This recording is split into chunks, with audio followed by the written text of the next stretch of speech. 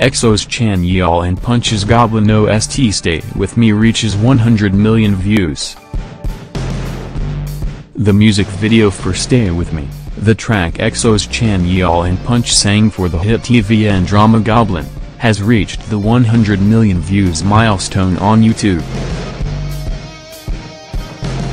The music video was released on December 3, 2016 as the first OST track for the drama and achieved the 100 million views milestone on November 12, 2017.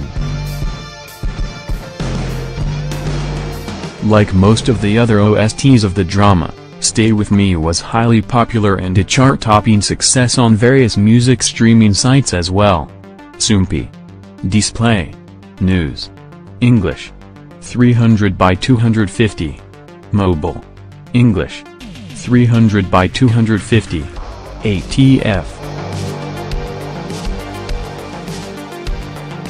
The song itself played such a prominent role in the drama that people will immediately think of Goblin when they hear the intro. The song showcased a beautiful mix of Chanyeol's soothing voice and Punch's signature sweet vocal tone.